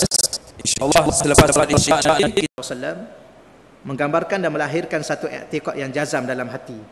Ini kesimpulan tuan-tuan yang terakhir yang ketujuh. Ia satu pegangan yang tetap putus dalam hati saya dalam hati tuan-tuan. Dan kalimah itu juga akan mencetuskan suatu kepercayaan yang amat yakin, ya iman yang yakin dalam jiwa saya dengan tuan-tuan menimbulkan perasaan tunduk dan akur dalam diri kita bahawa Nabi Muhammad Rasulullah SAW mempunyai segala-galanya yang tidak ada pada semua manusia di dunia ini. Ya, Nabi Muhammad ni tuan-tuan pemilik memiliki seluruh alam ya, yang Allah bagi kepadanya kemuliaan, keagungan, kehebatan dan segala-galanya tuan-tuan. Alam dunia dan alam akhirat. Maka tidak selayaknya kita sebagai manusia biasa merasakan diri ini memiliki kehebatan, kedudukan, kecerdikan apa sahaja walaupun sedikit. Sebaliknya merasa diri ini terlalu kerdil, hina, jahil dan segala-galanya jika hendak dibandingkan dengan Nabi kita Muhammad ya sallallahu alaihi wasallam. Bahkan kalau kira-kira sebenarnya tuan-tuan dari segi kelayakan kita lah khususnya ustaz-ustaz seumpama saya tidak layak sama sekali untuk sebenar-benarnya untuk berbicara soal baginda Rasulullah SAW. Saya buat ibarat beginilah tuan-tuan. Nabi Muhammad ni kekasih Allah. Ketua Nabi, ketua Rasul tu kita sedia maklum lah. Yang paling besarnya kekasih Allah. Saya pernah tanya tuan-tuan, tapi saya nak tanya lagi sekali lah sebagai suatu ibarat mudah pada saya, pada tuan-tuan. Tuan-tuan ada kekasih tak? Adalah ya. Tak berapa berani nak jawab. ha, puan-puan ada kekasih puan-puan? Ada juga ya. Ha, tu pernah saya tanya pada tuan-tuan. Kekasih kita adalah ibu bapa kita. Jangan salah faham tuan-tuan. Dunia akhir zaman ni dia dah salah faham tentang makna kekasih. Kekasih tu katanya yang duduk bonceng motosikal ke sana kemari pergi ulu yam tu. Tu bukan kekasih tu tuan-tuan. Tu apa benda kita pun tak tahulah. Ya. Baik. Maka saya nak sebut pada tuan-tuan dengan mudahnya tuan-tuan ada kekasih ibu, tuan-tuan kekasih ayah-ayah kita kekasih atau dengan bahasa paling mudahnya isteri tuan kekasih tuan. Ya puan, suami puan, kekasih puan. Baik. Siapa yang lebih layak berbicara tentang kekasih kita? Kita sendiri. Saya boleh tak berbicara tentang kekasih tuan? Saya kata Haji, Haji ada kekasih ada. Boleh tak saya nak cakap pasal kekasih Haji? Ni tu, eh ustaz ni apa hal? Kan? Ni pelik ni ustaz ni, ni nak cakap pasal kekasih orang. Kenapa kita kata begitu? Kerana mana boleh orang lain Orang lain tidak layak berbicara tentang kekasih kita. Bahkan kalau berbicara pun tidak benar. Kerana dia tidak faham dan tidak tahu. Yang lebih tahu tentang kekasih kita, kita lah. Ha. Sebab tu insyaAllah saya akan bahas depan ni nanti tuan-tuan sedikit sebanyak makna selawat. Kita kata kita berselawat, sebenarnya kalau kita terjemah, tak ada satu pun selawat daripada kita. Semuanya kita minta Allah yang berselawat. Kenapa? Kita tidak layak sebenarnya untuk berselawat kepada Nabi yang mulia. Hmm. Lepas tu jangan kita sekali-kali rasa kita agak cerdik sikit lebih pada Nabi. Kan? Tuan-tuan kita nak nak ikut orang bodoh ke nak ikut orang cerdik? Sudah tentu kita akan ikut orang cerdik. Nak ikut siapa yang cerdik? Nabi lah manusia yang paling cerdik. Cerdik pasal apa? Pasal semuanya.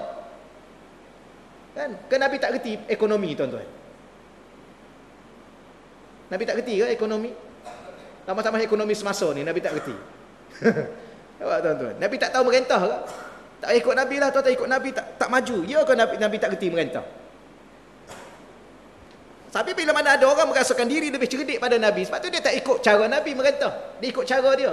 Cara dia siapa? Cara Donald Trump lah. Ha, cakap itulah dulu ya. Sebab tu dia lebih berbaik dengan Donald Trump daripada berbaik dengan para alim ulama. Diam macam ni. Gitu lah tuan-tuan. Allah. Jangan sekali-kali saya dengan tuan-tuan rasa lebih mulia, rasa lebih baik, rasa lebih cerdik, rasa lebih pandai lebih pada Nabi. Maka kalau kita tak rasa kita ni lebih bodoh, lebih tak pandai, lebih tak tahu nak banding dengan Nabi, maka kita kena ikut Nabi. Yang lebih pandai, lebih cerdik, lebih baik. Macam mana nak ikut Nabi? Nak ikut Nabi macam mana? Tuan-tuan, Nabi tinggalkan Quran dan Sunnah, itu dah ikut Nabi. Dan Nabi tak ada ni macam mana Ustaz? Tapi tuan-tuan dah faham saya cakap ni kepada orang-orang mana ya? Tuan-tuan okey. Tak ada masalah. Saya nak baca satu hadis Nabi tuan-tuan betapa hebatnya Nabi Muhammad dan kita menjadi umat Nabi Muhammad kita kena rasa rasa bertuah tuan-tuan. Nabi dalam satu sabda Nabi kata apa? Kalau Rasulullah SAW ia telah bersabda Rasulullah SAW innal jannata sesungguhnya syurga ini kata Nabi hurrimat alal anbiya ditegah bahasa asal hurrimat tu diharam. Tapi haram tu maknanya ditegah. Tahu ya? Asal makna haram ditegah. Ditegah tu ada dua sebab. Satu sebab kerana benda tu terlalu mulia juga ditegah. Satu sebab kerana benda tu keji, maka dia ditegah. Apakah benda yang mulia ditegah? Contohnya, kita berada di tanah haram. Kenapa tuan-tuan pergi juga tanah kota tanah haram? Masjidil Haram. Ha, kerana bila mana berada di tanah haram tu banyak benda yang ditegah. Kerana terlalu mulia tempat itu. Kalau tuan-tuan pergi ibadah haji, cabut rumput pun tak dibenar ya. Ke memburu boleh. Ha, pun pun tak boleh. Ya tuan-tuan pergi-pergi tengok kijang. Ay, lama tak jumpa kijang ni tuan-tuan sekalian. Buru kijang. Tak boleh. Kenapa pula? Tanah haram. Ay, tanah haram. Ha, tanah yang mulia, maka dia ditegah. Kerana terlalu mulia. Patutnya tak payah pergilah. Tanah haram, masjidil haram tak payah masuk lah. Ha, haram tu ada ada makna dia.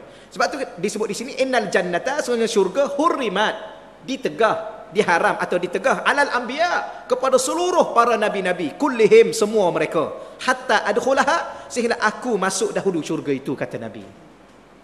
Ha. Kita tuan-tuan sekarang ni diajar macam mana diajar?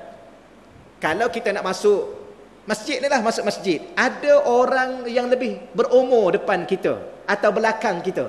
Kita kena tunggu orang berumur ni biar dia masuk dulu. Itu ada. Tuan-tuan pernah dengar Sayyidina Ali. Dia keluar daripada rumah waktu subuh tu kan. Banyak ustaz-ustaz kita cerita dalam kitab-kitab tuan-tuan boleh baca. Dia keluar waktu subuh, dia lewat sikit tuan-tuan nak solat subuh. Dia pun bergegah lah. Bila mana bergegah, ada seorang pak cik depan dia berjalan perlahan. Perlahan jalan tuan-tuan. Maka dari sikit adab, kita orang muda tak boleh potong ke tu ni tuan-tuan. Tak boleh potong. Ni lambat punya pak cik ni. Mai saya pergi dulu, pergi dulu tuan-tuan. Kita tak ada adab ketika itu. Ha, jadi dia pak cik ni pula menghala ke masjid. Dia pun lambat lah tuan-tuan lambat punya lambat lambat punya lambat. Sampai depan masjid ya, tuan-tuan sekalian, pak cik ni pusing ke lain. Baru Nabi eh, baru Sayyidina Ali dapat tahu rupa-rupanya tuan-tuan sekalian bukan Islam. Setengah riwayat kata dia ni Yahudi, dia berjalan. Tapi, tapi Yahudi ni bangun pagi-pagi juga tuan-tuan. Terus ah, pergi. Kemudian dia naik-naik, dia dia ingat kan dah dah dah tak sempat dah solat dengan Nabi. Dia naik-naik tuan-tuan sekalian, Nabi duduk tengah rukuk, kan? Ke dia pun angkat takbir rukuk. Dapatlah. Semua sekali dapat tuan-tuan sekalian. Lepas sembahyang sahabat nabi bercakap-cakap. Kenapa nabi nabi rukuk lama? Rupa-rupanya tuan-tuan nabi rukuk lama. Tina Ali pergi-pergi tengok-tengok masih rukuk okeylah. Rupa-rupanya nabi rukuk lama. Tuan-tuan tahu lama mana rukuk? Dekat-dekat matahari nak naik. Ha aku Rupanya kenapa Allah arah Nabi rukuk lama supaya tunggu Sayyidina ah, tunggu Sayyidina Ali sebab Sayyidina Ali ni hormat pada orang tua. Ha. Bahkan Nabi kata bukan itu saja Allah arah aku, bukan Allah sekadar arah aku rukuk lama tunggu Ali. Bukan itu saja. Allah tahan matahari supaya lambat terbit. Kenapa tu? Adab pada orang tua. Ha, tuan-tuan. Ha ni kita orang muda-muda sikit ni tuan-tuan. Jangan ni orang-orang lama ni. Mereka lebih mulia jauh daripada kita orang muda-muda ni walaupun kita tinggi mana ilmu pun. Ya kau tinggi. Tak ada tinggi apa pun tuan-tuan. Kerana mereka sujud lebih awal. Tuan-tuan tu sekian, tuan-tuan dengan saya tuan-tuan jauh lebih mulia. Sebab apa? Sebab tuan-tuan lebih awal sujud pada Allah. Tuan-tuan lebih awal baca Quran. Tuan-tuan lebih awal datang masjid. Ha ni. Kata ha, jangan kita muda-muda ni tak payahlah rasa hebat tak kat mana pun. Walaupun orang tua itu, tapi yang di, sebab tu dikatakan setengah riwayat kata yang tua tu Yahudi. Kalau orang tua tu Yahudi yang pergi ke laluan masjid pusing balik bukan kata nak pergi sembahyang. Bagaimana orang-orang yang berumur yang tuan hari-hari duduk datang masjid? Ah. Yang, tapi cuma masalah satu lagi ni dia dia orang tua tuan-tuan sekalian. Patutnya dia dihormati tapi dia datang masjid duk catik ustaz mengajar nak buat laporan. Ah, yang kita pelik juga tu. Dia dah tua dah. Patutnya kita hormat ni apa ayah sikit ni tuan-tuan setakat tu lah. Ah, saya, saya baca yang ni tuan-tuan. Ni habis dah ni habis dah. Kuliah, kuliah saya ni kuliah kita ni tak ada apa dah. Habis dah. Wa hurrimat alal umam.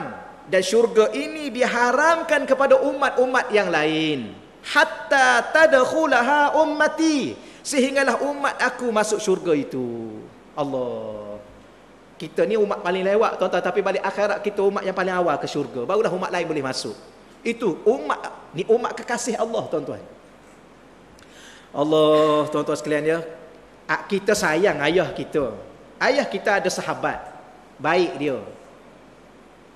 Ha.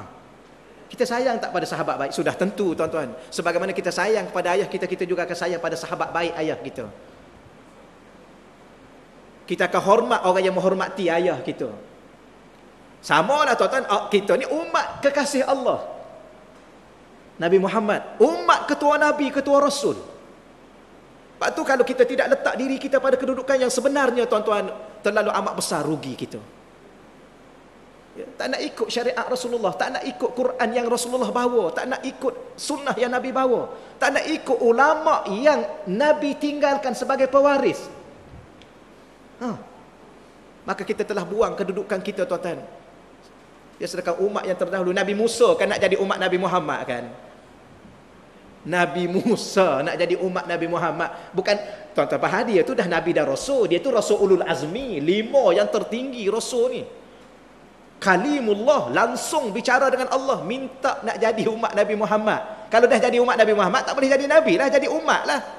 Sedangkan dia sudah Nabi kita yang sudah jadi umat Nabi Muhammad ni pun tuan-tuan subhanallah. Gitulah ya supaya ada rasa saya dengan tuan-tuan bertambah rasa, bertambah syukur, bertambah mulia dan sebagainya tuan-tuan ya. Rasa rasa mulia dengan Nabi Muhammad. Wallahu a'lam. Yang muka surat 12 tu itu berapa apa? Enam kelebihan Nabi Muhammad. Kena baca juga tuan-tuan ya. Kita baca sepitah lalu tuan-tuan. Nabi mengatakan dalam satu sabda fuddiltu alal anbiya, aku dilebihkan nak dibandingkan dengan nabi-nabi yang lain. Bisitin dengan enam perkara. Baik, u'titu jawami al-kalim. Yang pertama kelebihan aku kata Nabi ialah nak banding dengan nabi lain, aku diberi kelebihan jawamiul kalim. Jawamiul kalim ni satu istilah tuan-tuan. Nabi ni dia berbicara bahasanya ringkas dan mudah, pendek tetapi maknanya luas dan mendalam, bermanfaat sampai ke akhirat. Ha. Itu bahasa Nabi.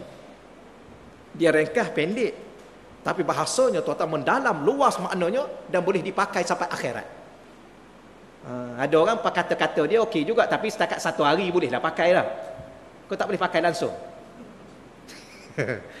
kan? Ha, ada seorang tu langsung tak boleh pakai tuan-tuan. Tak nak naik, tak nak naik, naik, naik, naik, naik. Tiap-tiap hari Rabu naik. Ha, takat tu dulu. Wa nusirtu birru'bi.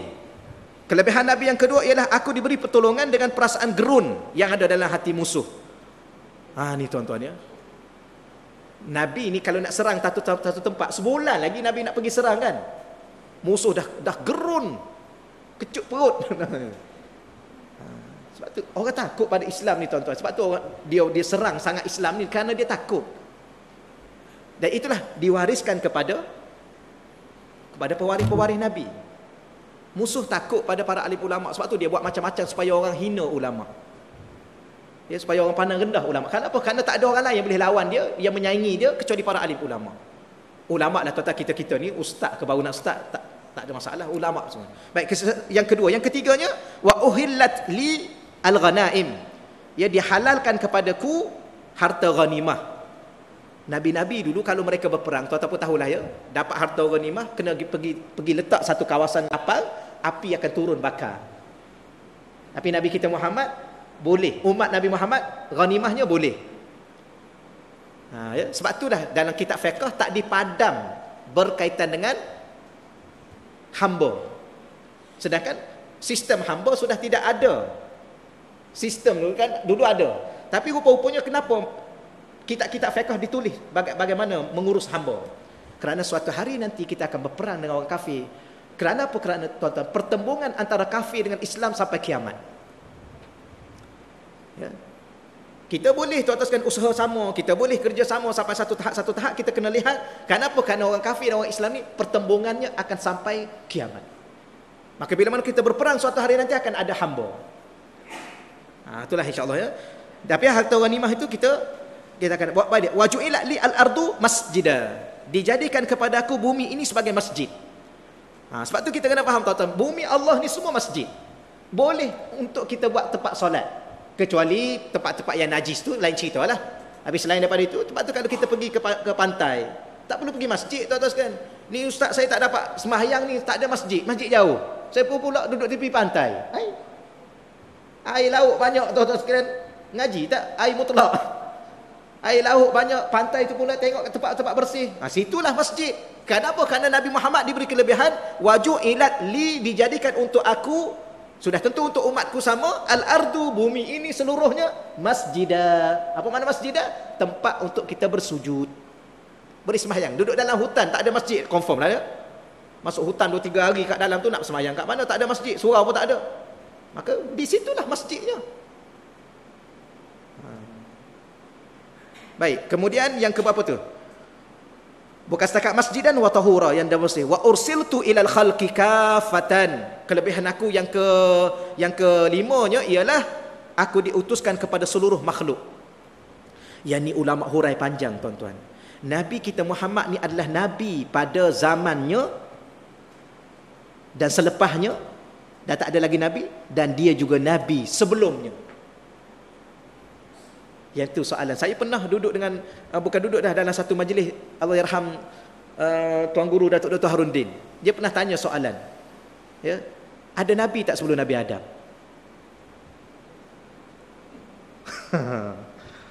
Kita tak berani nak jawab tuan-tuan. Ya tok guru tanya. Ha kau nak jawab juga? Ha, kita kata wallahu a'lam. Ha, dia hurailah. Nabi Muhammad itu adalah Nabi sebelum Nabi Adam. Di alam arwah. Kerana ya ayuhan nabi itu dah tercatik di dalam Al-Qur Al-Quran. Al-Quran tu dengan Nabi Adam mana dulu? Quran dulu. Allah dah sebut Nabi tu ya ayuhan nabi. Tapi bahasan ini tuan-tuan bahasan dalam, tak boleh dibahas secara umum gini takut orang salah faham. Ha. Kan baru ni khutbah ingat tak khutbah uh, Malidur Rasul pihak Jabatan Agama Islam tu? Kan ingat tak? Yang mana Nabi Adam bertawasul dengan Nabi Muhammad kerana setelah dimasukkan roh maka dimasukkan dia ke syurga. Kemudian dia memandang ke, ke atas dia nampak tiang arash. Jangan ingat belah-belah pelih saja ada alim ulama Ya, dia tegur khutbah tu, dia kata sesak dan sebagainya. Ya, kerana tidak ada benda tu, tak apalah setakat itulah ya. Ha, inilah di antaranya, Nabi kata aku diutus kepada seluruh makhluk. Nabi tak kata umat. Ini bahasa, kadang-kadang tempat tu kita kata, belajar bahasa Arab, biar teliti betul-betul. Ursil tu, aku telah diutuskan ilal khalqi kepada seluruh makhluk, kafatan semuanya. Makhluk tu bila? Semenjak Nabi Adam dan sebelum Nabi Adam, selepas Nabi Adam. Baik, akhir sekali, wa khutima bi an-nabiyun, maka diakhiri para nabi dengan diriku kata nabi wa khutima bi di, diakhiri dengan aku an-nabiyun segala nabi-nabi maka tidak ada lagi nabi gitulah tuan-tuan sekalian. Alhamdulillah kita habis satu bab malam ni. Mana ada kuliah habis satu bab tuan-tuan satu malam? Alhamdulillah setakat tu dahululah ya. Allahu rabbi setakat apa? Auzubillahi minasyaitonirrajim. Bismillahirrahmanirrahim. Wassalatu wassalamu آله وصحبه أجمعين. اللهم ارزقنا فهم النبيين وحفظ المرسلين وإلهام الملائكة المقربين اللهم ارزقنا فتوح العارفين. يا فتاح يا عليم. يا فتاح يا عليم. يا فتاح يا عليم. وصلى الله على سيدنا مولانا محمد والحمد لله رب العالمين. تقبل الله منا ومنكم يا كريم.